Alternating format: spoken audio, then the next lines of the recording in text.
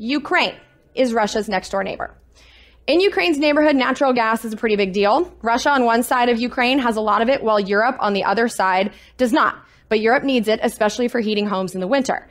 And guess where the gas pipelines that connect Russia to Europe, including Russia's largest pipeline, are located?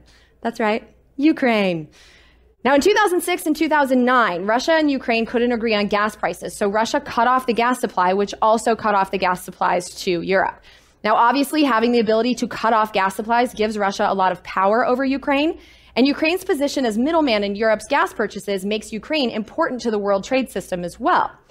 But aside from being an important location for fossil fuel transportation, Ukraine itself is a valuable treasure because aside from being blessed with lots of fertile land perfect for growing food, it's also sitting on top of some enormous shale formations, which have yet to be fracked for natural gas. The largest of these formations is on the eastern side, the Russian side of the country. And there's also a lot of gas under the peninsula that hangs off the southern coast of Ukraine called Crimea.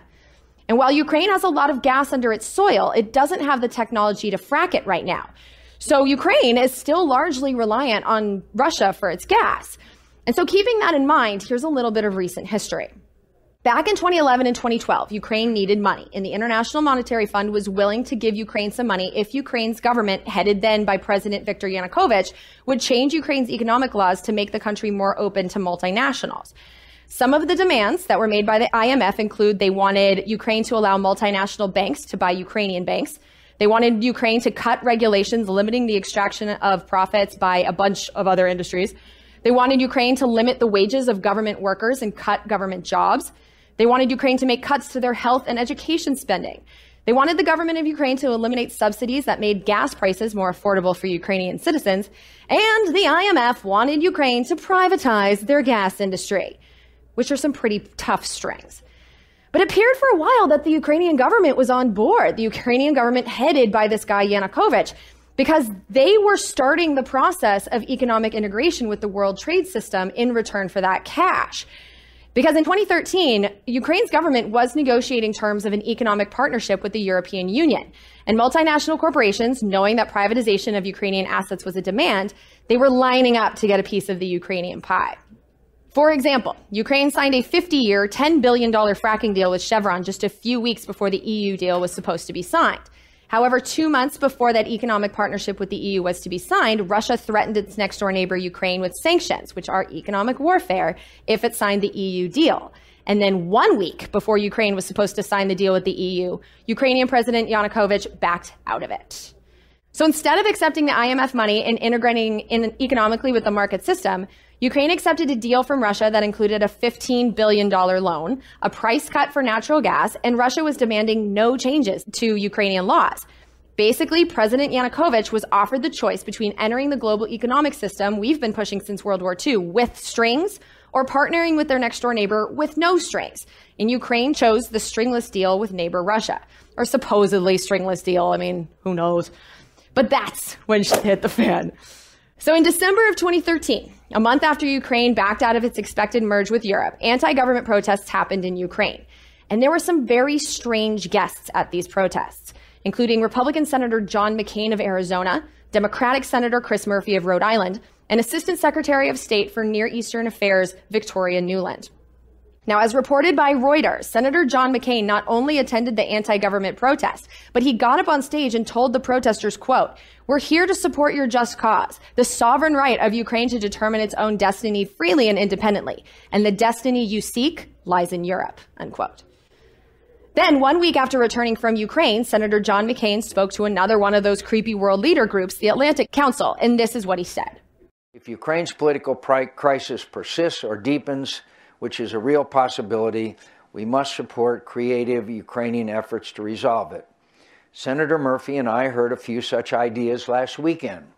From holding early elections, as the opposition is now demanding, to the institution of a technocratic government with a mandate to make the difficult reforms required for Ukraine's long term economic health and sustainable development. Decisions such as these are for Ukrainians to make no one else, and if they request our assistance, we should provide it where possible. Finally, we must encourage the European Union and the IMF to keep their doors open to Ukraine. Ultimately, the support of both institutions is indispensable for Ukraine's future, and eventually, a Ukrainian president, either this one or a future one, will be prepared to accept the fundamental choices facing the country, which is this. While there are real short term costs to the political and economic reforms required for IMF assistance and EU integration, and while President Putin will likely add to these costs by retaliating against Ukraine's economy, the long term benefits for Ukraine in taking these tough steps are far greater and almost limitless. This decision cannot be borne by one person alone in Ukraine, nor should it be. It must be shared, both the risks and the rewards, by all Ukrainians, especially the opposition and business elite. It must also be shared by the EU, the IMF, and the United States. All of us in the West should be prepared to help Ukraine, financially and otherwise, to overcome the short term pain that reforms will require and Russia may inflict.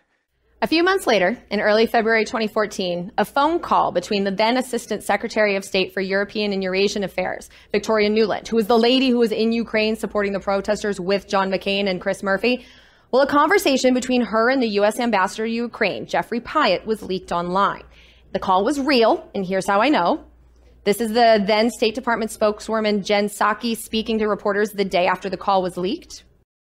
Before we get back to Syria, mm-hmm. let's go to the real fire, or what seems to be the real fire mm-hmm. at the moment, and which is Ukraine. Mm-hmm. And um, so, before we get into the actual substance of this conversation, this call that was recorded and, and released, um, can you say whether you, if this call is an authentic uh, record, a recording of, a, of an authentic conversation between Assistant Secretary Nuland and Ambassador Pyatt? Well, I'm not going to confirm or uh, outline details. I understand there are a lot of reports out there, and there's a recording out there, uh, but I'm not going to confirm pr- private diplomatic conversations. So you're not saying that you believe this is, you, you think this is not authentic? You think uh, this is it's not an accusation I'm making. I'm just not going to confirm the specifics of it. Well, you can't even say whether there was th- this call, that you believe that this call you believe that this recording is a recording of a real telephone call? I didn't say it was inauthentic. I think we can okay. leave it at so that. So you're you're you're allowing the for the you're allowing the fact that it is authentic. Yes. Do you have a yes. question about okay. it? I love that smile on her face too. She's just like, I hate you. and here's how another one of the reporters characterized what she and the rest of the world was hearing on that call. It's up to the people of Ukraine, including officials from both sides, to determine the path forward. But it shouldn't be a surprise that there are discussions about events on the this ground. This was more than discussions, though. This was two top U.S. officials mm-hmm. that are on the ground discussing a plan that they have to broker a future government and bringing officials from the UN to kind of seal the deal. This is more than the U.S. trying to. Um, make suggestions. This is the U.S. midwifing the process. And of course, I have the tape for you. Now, you can listen to the entire thing. It's about six minutes. I've put the links to that in this episode's show notes. But here are the highlights. Now, in this call, the State Department's Victoria Nuland and U.S. Ambassador to Ukraine Jeffrey Pyatt are discussing which of three people should be put in charge of the next Ukrainian government. The options were Vitaly Klitschko, who ended up becoming the mayor of Ukraine's capital city, Kiev, and he remains the mayor to this day. There was also Oleh Tyahnybok, who was the leader of a party that focused on opposition to Russia and communism. And there was Arseny Yatsenyuk, nicknamed Yats, the person who would become Ukraine's prime minister 21 days later. Good. So uh, I don't think Klitsch should go into the government. I don't think it's necessary. I don't think it's a good idea. Yeah, I mean, I, I guess you think what in terms of him not going into the government, just let him sort of stay out and do his political homework and stuff. I'm just thinking in terms of sort of the process moving ahead, we want to keep the moderate Democrats together. The problem is going to be Tyahnybok and his guys. And, you know, I'm sure that's part of what Yanukovych is calculating on all of this. Um, I kind of. I, I, I think Yats is the guy who's got the economic experience, the governing experience. He's he's the guy. You know what he needs is Klitsch and Tyahnybok on the outside. He needs to be talking to them four times a week. You know, I, I, I just think Klitsch going in, he's going to be at that level working for Yatsenyuk. It's just not going to work. And they got some help with their plan from the very top of the U.S. government. We want to try to get somebody with an international personality to um, come out here and help to midwife this thing. And then the other the other issue is some kind of outreach to Yanukovych, but we probably regroup on that tomorrow as we see how things start to fall into place. So on that piece, Jeff, uh, when I wrote the note, uh, Sullivan's come back to me uh, VFR saying you need Biden, and I said probably tomorrow for an attaboy and to get the deets to stick. So Okay. Biden's willing. Okay, great. And less than three weeks later, the government of Ukraine was overthrown. The way it went down is that the Ukrainian parliament somehow voted to remove Yanukovych a little under two years before the end of his term in a move that Yanukovych called a coup. Five days later, Yats, the guy, became prime minister of Ukraine. And less than a month later, Ukraine signed that pact with the EU and went back to negotiating with the loan sharks at the IMF for the cash that Ukraine needed. And just two weeks ago, we got another piece of evidence pointing towards our interference in the government of Ukraine. This time from the big mouth of former Vice President Joe Biden, the guy who was tapped by Victoria Nuland to get the deets to stick. Here he is speaking to the Council on Foreign Relations on January 23rd. I, I, I was not I, I, but it just happened to be that was the assignment I got. I, I, I got all the good ones, uh, uh, and uh, so I got Ukraine, and uh, um, I remember going over convincing our team or others to convincing us that we should be providing for loan guarantees, and I went over, I guess the 12th, 13th time to Kiev, and uh, and I was going supposed to announce that there was another billion dollar loan guarantee. And I had gotten a commitment from Poroshenko and from uh, Yatsenyuk that they would take action against the state prosecutor, and they didn't. So they said they had they were walking out to press conference. I said, "No," I said, "I'm not going to. We're we're not going to give you the billion dollars." They said, "You have no authority. You're not the president." The president said, "I said, call him." I said, "I'm telling you, you're not getting the billion dollars." I said, "You're not getting the billion. I'm going to be leaving here." And I think it was what six hours. I looked. I said, "I'm leaving in six hours. If the prosecutor's not fired, you're not getting the money." Well, son of a bitch, got fired, and they put in place someone who was solid at the time. So Joe Biden used money to get someone he wanted installed in the Ukrainian government. And see what I mean? They brag about it. you know, these are secrets that are hidden in plain sight. And so by March of 2014, less than six months after Yanukovych decided to economically partner with Ukraine's neighbor, his ass was out and Yats was in, and Ukraine was back on the path towards integrating with Europe. And I can't tell you all the details of what happened. I don't think we're ever going to know, but I'm confident now in saying that we were interfering. And Russia was pissed. You know, if my dumbass is able to see these pieces fit together, you bet that the Russian government was able to see what was happening too. And so the same day that Yats became prime minister, Russian troops began arriving on the peninsula that hangs off the southern coast of Ukraine called Crimea, a peninsula that was Russian until 1954 when Russia gave it to Ukraine. Crimea is a peninsula that houses a major Russian military base and is home to their Black Sea Fleet. And after seeing the government that had just agreed to partner with them replaced somehow, they decided to take Crimea along with their military base and the shale formation of natural gas. This is what has been branded here in the United States as the Russian invasion of Ukraine. And was it right? Was it wrong? I don't know. But I can at least understand why they did it. And as I documented back when it happened in episode 68 of Congressional Dish, the United States government immediately started giving money to the new government of Ukraine for weapons, military training, and U.S. State Department programs to, among other things, quote, support political and economic reform initiatives by Eastern Partnership countries, unquote.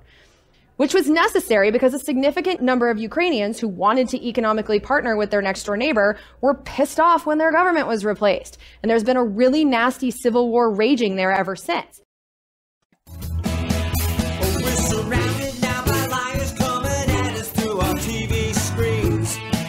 Don't have a domestic spying program. They're content to fight in black and white despite the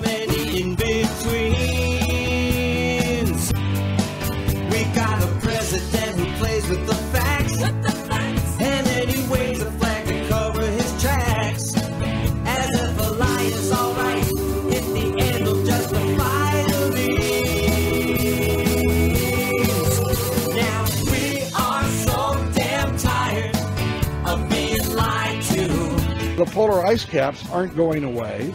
We don't think we can deny it.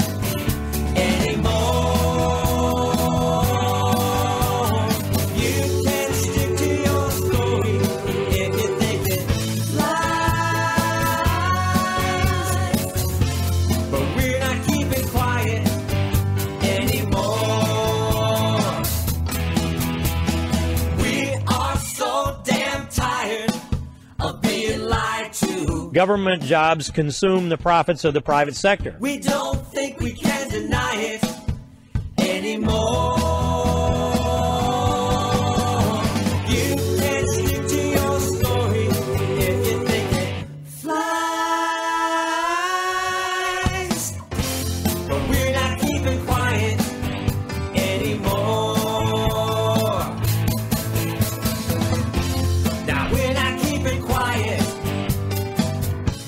represent common sense, bipartisan solutions that actually solve problems.